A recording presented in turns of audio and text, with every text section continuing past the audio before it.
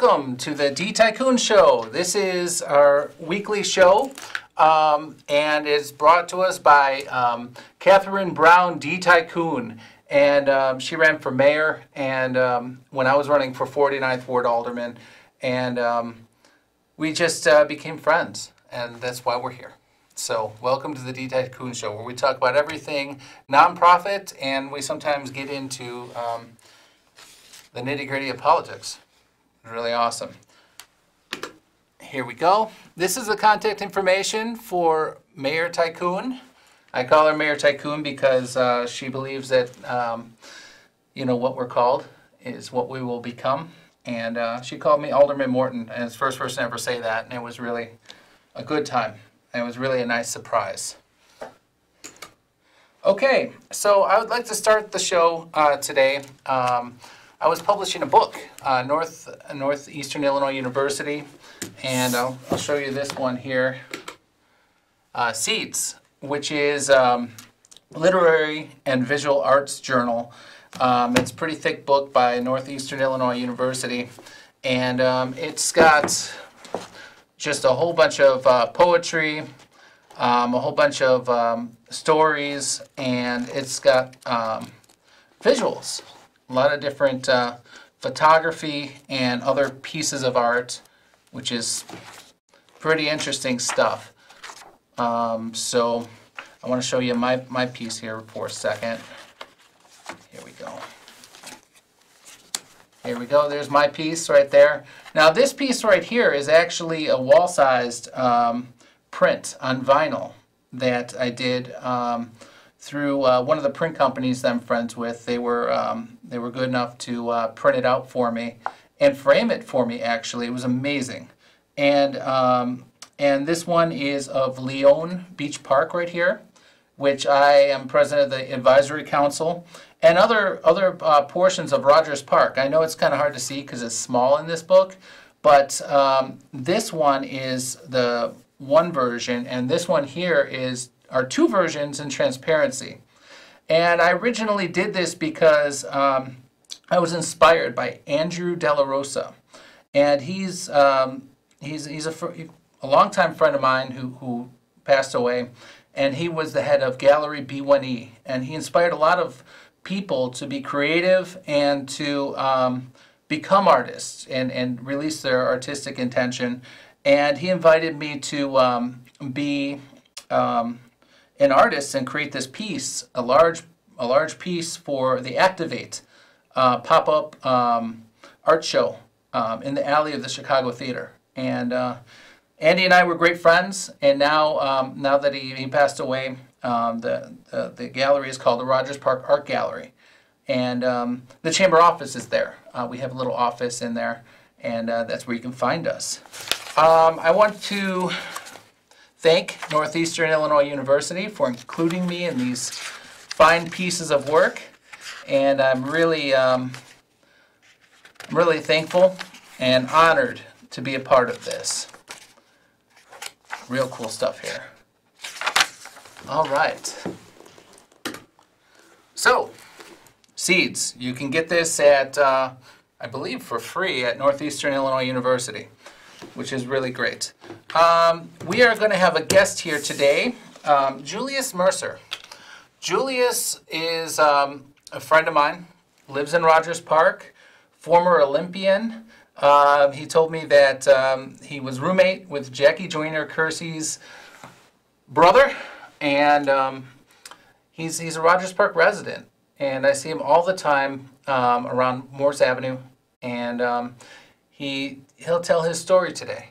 Um, how he, um, why he wrote his book, um, exactly what he went through, and um, how he's using his Olympian status uh, as an athlete, along with other uh, professional athletes from the Chicago Cubs, the White Sox, the Bulls, the Blackhawks, and other Olympians, um, to help people going through rough times and doing fundraisers for people in need. So um, he's, he's really great, and um, I'm looking forward to him getting here. Uh, we have our uh, monthly Rogers Park Job Fair coming up, and here's the information for this. Our monthly Rogers Park Job Fair is um, is um, once a month, and it is it features all kinds of employers, and it's it's it's really interesting how how many um, potential employers meet up with um, job seekers, and you know there's a discussion all the time out there that you know well where are the jobs? How come this person or this group of people can't find the jobs? Well, here are the jobs. This is a citywide job fair. It's hosted in Rogers Park. We call it the Rogers Park Job Fair, and is hosted by the Rogers Park Chamber of Commerce. Um, for more information, you can reach www.rogerspark.cc. We've had a lot of great employers, uh, for profit and nonprofit. I'm not going to mention them because uh, this is nonprofit services. And um, I just wanted to invite everybody. Now, um, when it comes down to it, we need the employees to show up and we need the potential employers to show up. So, what we want to do is um, invite employers. Go to rogerspark.cc, call 773-850-0049 if you're a potential employer, and um, participate. There's no fee, and there never is a fee. We just want to um, get people the jobs to the people who need it. And here is Julius Mercer. Hey, Bill, how's it going? How's it going? Nice to see you. Hey, likewise. Great, likewise. excellent. Thank you for coming. You got it. My so, pleasure. so I kind of did an introduction for you um, already about about your book, and uh, that that you're a Rogers Park neighbor, Yes. and that you participated in Chamber of Commerce events and different things like that. And um, maybe maybe you can fill them in on the details. Yeah, I love Rogers Park, by the way, and it was a pleasure to meet you. Mm-hmm. Upon shortly after my arrival there, about uh, three years ago. Right? Mm-hmm. Yeah, great, great guy. Um, so yeah, uh, where do I start in terms of Start at the beginning. the right? yeah. Well, actually, uh, back in in in that, um, uh, also you might you, if, if you have to interrupt me, it's okay to redirect me. oh, I would. Okay, good. Don't worry about that. Yeah. So back in 1984, Mm-hmm. now actually 1983, uh, my life seemingly was at the top. You know, I just graduated from Kansas State University. I earned a bachelor's degree in sociology, uh, which was great because I overcame, I had to overcome some academic deficiencies that stemmed from uh, junior high school all the way up. Uh, in fact, when I graduated from high school, my grade point average was 1.65 on a 4.0 4.0 scale. So uh, kudos to me for graduating, you know, with some help from mentors. Um, and in addition to that, in 1984, I qualified for the U.S. Olympic tryouts, which were held in Los Angeles, California. I ran track, of course. I ran the 110 meter hurdles and the low hurdles, the 400 low intermediate hurdles. I actually qualified, hit the qualifying standard in both races. Um, I didn't make the Olympic team, but I did try for the Olympic team in the low hurdles.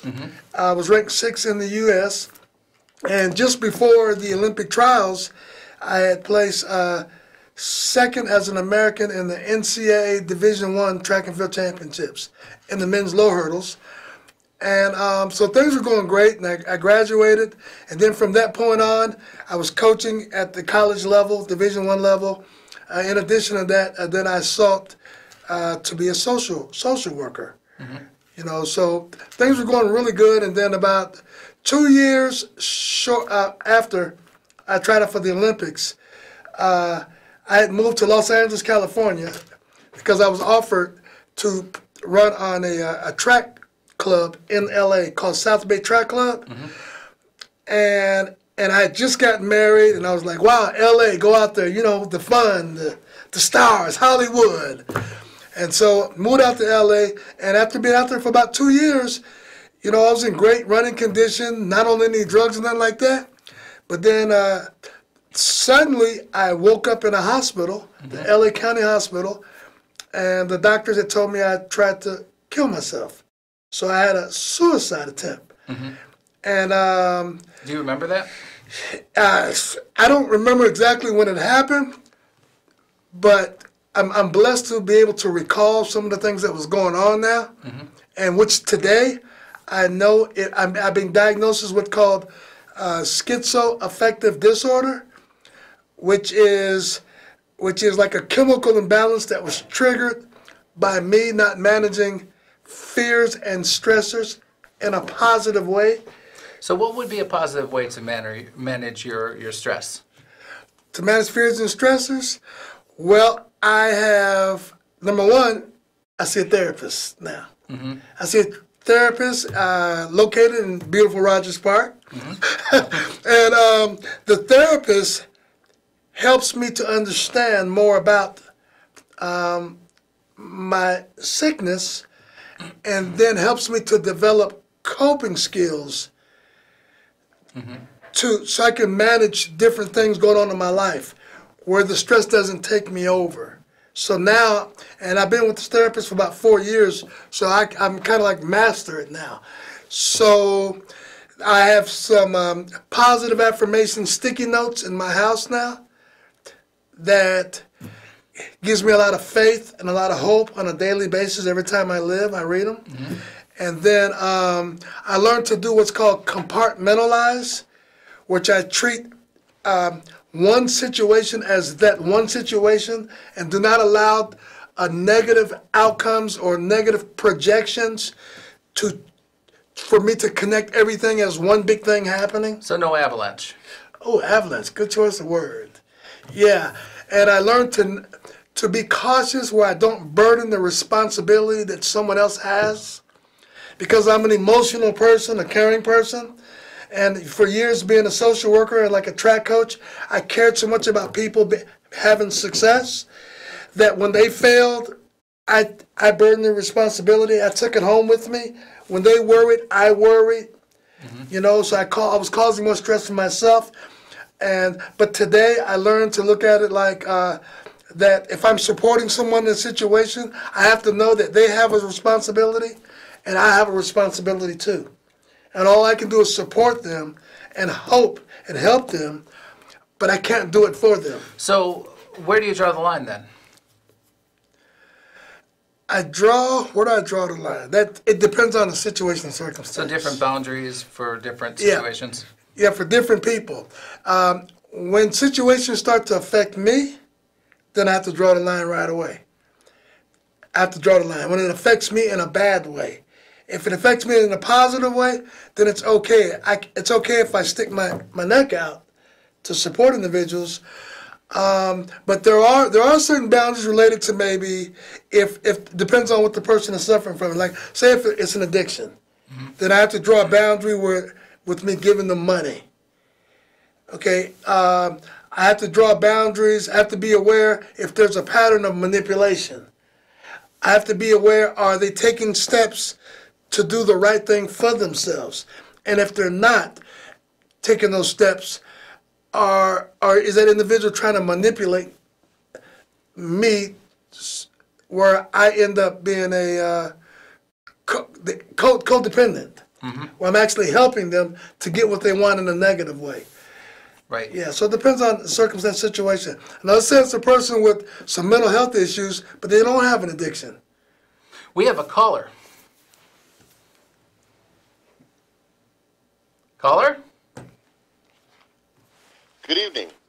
Hello. This sounds Hello, I like have a question for your guest. this sounds like Bishop James Allen Wilkowski, is it? Yes, it is. Hey, how you doing today? Good evening. I'm fine. I was very interested in what you were saying earlier, and I know that you've just really begun your interview with Bill.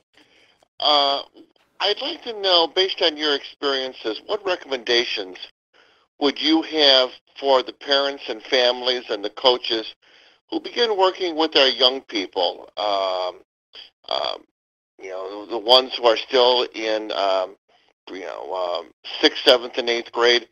Those who feel that they have an attraction to athletic endeavors, but um, we see quite often that many of our young kids sometimes are treated the way professional athletes are, and they have a lot of pressure uh, put on them from the earliest ages.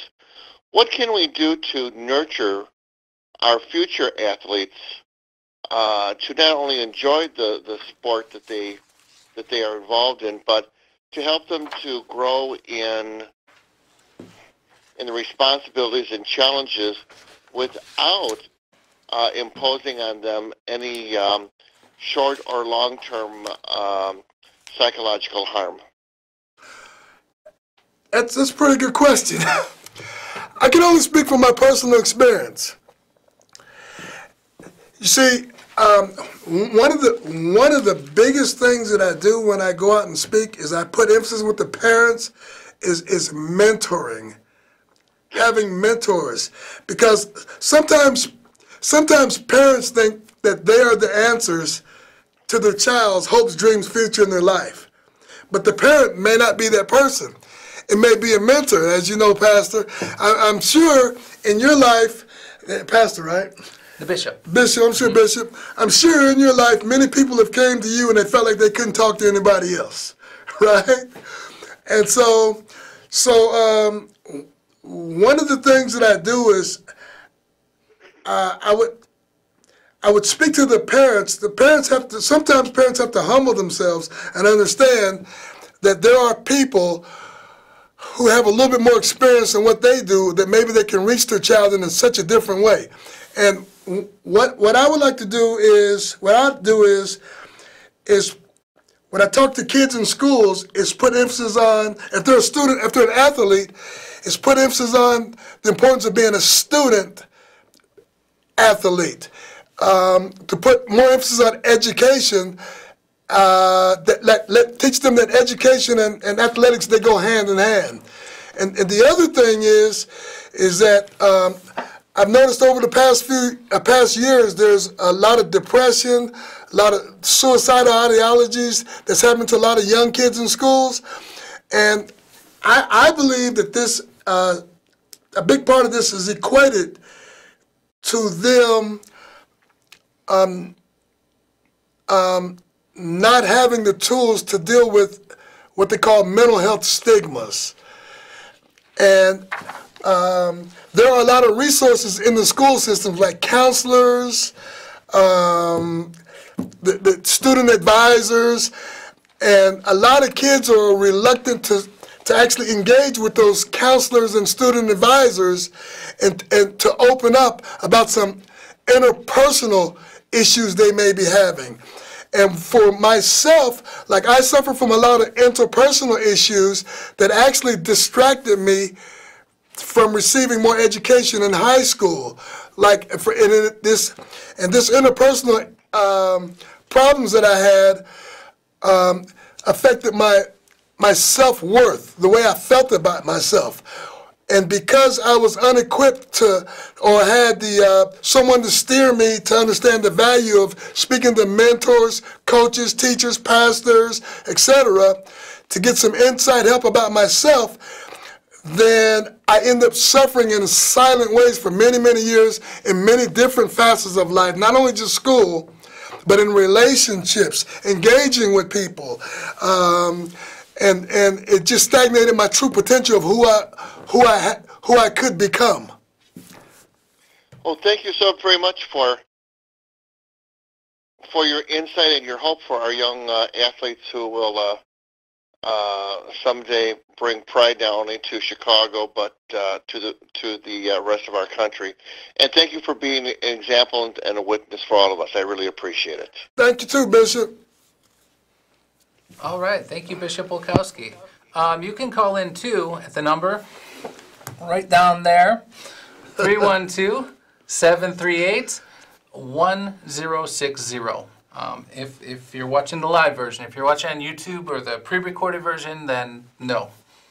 Um, you can uh, contact uh, Mayor Tycoon, though, anytime you like at this information. All right, so um, let's let's get through uh, a couple a couple quick questions. Sure. Um, what inspired you to hurdle? Well, at the age of 16, maybe going on 17, I was a junior in high school. I went to a high school called uh, Rich East High School in Park Forest, Illinois, which mm -hmm. is a south suburban community. And so I grew up in a family of four boys and one girl. Two of my older brothers, um, they had ran on our high school track team. Uh, one was um, a triple jumper and a long jumper. And the triple jumper, he set a record at the school. And then my older brother, um, he ran the hurdles, and he was like a just an all-around athlete. And then uh, during that time, I played baseball and I played basketball. Mm-hmm. And then he came to me and he says, Julius, you should go out for the track team. So I, I did. My junior year, I, when they called track practice, I went out and I had this coach. His name was Johnny Meisner, who also was a counselor at the time. And so Johnny Meisner, I didn't know nothing about track. As soon as I stepped on the track, Johnny Meisner said, Hey, Julius. He said, You ever jumped a hurdle? I said, No. So he pulled out a hurdle, put it on the track, and he said, Jump over that. And I jumped over that, the hurdle, and he said, You're going to be a hurdler. That's got to hurt. I've seen those hurdles. Yeah, absolutely. It hurts if you fall, and I fell a couple times. Mm-hmm. Oh, yeah, especially back in, this was like 1978. Uh, and, and our tracks, the running tracks, was made out of cinder it, it wasn't the all-weather rubber tracks that they have nowadays. Mm-hmm. So that cinder, when you fall in the cinder, it'll skin your, your legs up, and, and your leg will look like a raw hamburger. Wow. Was your coach your mentor? Yes, the coach, yeah, he was my mentor. He taught me how to hurdle. He put a dream and vision in my head that I never saw before. And um, so my junior year, uh, I, I didn't win very much. I ran, but I learned how to run the hurdles. Now, the next year, my senior year, now there's two types of hurdle races, as I mentioned earlier, the high hurdles and the low hurdles. So my senior year, I was undefeated in both hurdle races for the entire season. And then at the, we had a, um, at the end of the season, we, I ran in the meet called the districts. Mm-hmm. And then I was the high hurdle district champion. I set a school record uh, there, which still stands to, which still, I set a school record in the high hurdles and in the low hurdles, I set a school record that still stands today so your since 1977 mm-hmm. at Rich East High School. So your picture's still on the wall up there. Yeah, still on the wall there. All right. yeah. Yeah. So um, when you were in Los Angeles, and you, you was it the, the, the party scene that, that triggered your breakdown? No, no, no, no, no. It was more like, uh, you know, like in, in Chicago, as I'm in Chicago, for example, because I live here now. But you know, a lot of gang violence, gunshots. I hear them in Rogers Park when I first moved there. I don't hear them, hear them as much now. You know, there, has been a lot of talk about gun violence and traumatic stressors, right? Mm-hmm. So this was the beginning of my issue. So when I moved to Los Angeles, I had no idea where I was moving. So I had to move to an area where my wife and I, we, we weren't working at the time, so we had to move into an area where the rent was low until we get on our feet. Mm-hmm. So we moved right into South Central Los Angeles. Uh, if anybody's familiar with Los Angeles, we moved in an area called 104th and Prairie Avenue, right next to the airport and the place was inundated with gang violence at the time. It was 1987, 88. It was about a couple years before the, the infamous Rodney King beatdown was going on. So there was a lot of things going on. There were gangs at war, the Crips and the Blood. So this, it was an environment I wasn't used to because past six years, I was in the state of Kansas, in a rural country town, mm-hmm. you know, going to junior college, went to Kansas State and it was just really slower, a lot different life. And then suddenly I moved to the inner city, and then um, there were just gunshots every night, and Crips and the Bloods, and gang violence shooting. Then I would see police brutality, you know, police chasing people in the streets. I'd see them beating them down, and and uh, this was it really affected my mind. I couldn't believe the violence that I saw. The, uh, uh, hearing gunshots up close, boom, boom, boom, boom, live. Um, I started fearing for my wife. Every when I leave to go to work, I was always worried that I hope something would happen to my wife. Somebody wouldn't break in the house. Uh, she wouldn't get shot. And then um, a, few, a, few, months after I was there, my brother-in-law he uh, he got killed by some gang members. You know, he uh, it was a robbery, and he ended up getting killed. So all this was affecting me. So I was I was literally living day by day with a bunch of fears on the inside, but I didn't want to tell anyone. So you experienced PTSD? Uh, you could say that's what it was. And, uh, and so it triggered some psychosomatic issues. I had psychosis, where, where um, one day I just was driving down the street, and then um, and then when the psychosis hit, I can explain it to you now because now I know what it's what it's like, you know. Mm-hmm. And so I had parked my car, and I looked up. There was some helicopters hovering above in L.A. And now in Los Angeles, there's helicopters for news, and there's also a lot of helicopters that chase people, right? So when I saw these helicopters, I thought they were chasing me. This is what psychosis does. It's like extreme paranoia. It made me feel like they were chasing me. So I parked my car. I got out and I ran, must have ran about a mile or so. Mm-hmm. And then I went back to my house. And then I, I knocked on the door. And my wife answered the door and says, What's wrong with you? And I said, The police are there. They're trying to kill me. The gangs, everybody's trying to kill me. Now I had the same symptoms as if a person was hooked on heavy drugs and then someone says, "Oh wow, they're going crazy on drugs," but I wasn't on no drugs. This was happening, mm-hmm. right? So, uh, so I thought that I felt like everybody was trying to kill me, and then uh, uh, I better kill myself before they kill me. And then the thing that I remember is that I pulled a garbage can uh, next to a, like a clothesline in someone's backyard, mm-hmm. and I took off my coat, and that's all I remember. Yeah, I was. I woke up in the hospital. The doctors asked me, uh, did I know where I was at, and I told them. Now, by this time, the psychosis had settled. Okay, so now I'm back to normal. The doctor says, "Do you know where you're at?" And I says, "Yeah, I'm at uh, MacLaren Children's Center." Mm-hmm. You see, because that's where I was working. I was working with abandoned abused youth. They said, "No, you're not. You're in the hospital. You try to kill yourself." And I went, "What? You're crazy? Mm-hmm. I would never try to kill myself." So then they showed me a mirror, and I had a black mark around my neck. Oh. Yeah, I started crying. And my mom and dad had flew out there, and everyone thought I was on drugs. And and it turns out, you know, of course I wasn't. Mm-hmm. And then everyone was perplexed, and so uh, that that was the beginning. All right, we've got a couple minutes left. I just want to get through a couple different things. Are you an advocate for mental health centers? Yes, uh, I've been hired about a year ago. I took some leadership and training at the Illinois Institute of Technology in Chicago, Illinois, mm-hmm. 35th and State.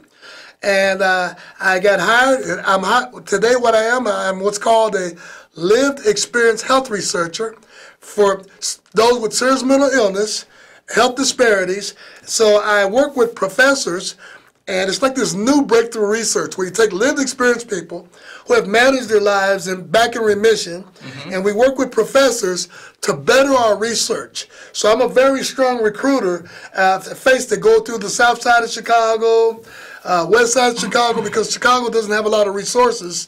And so we, we recruit people in, and then we have focus groups mm-hmm. so we can better provide better health care uh, for people that are suffering like I did. Excellent. This is author Julius Mercer, and I'd love to have you back again sure. sometime soon, Julius. Sure, Bill. Thank you so much. Thank you so much.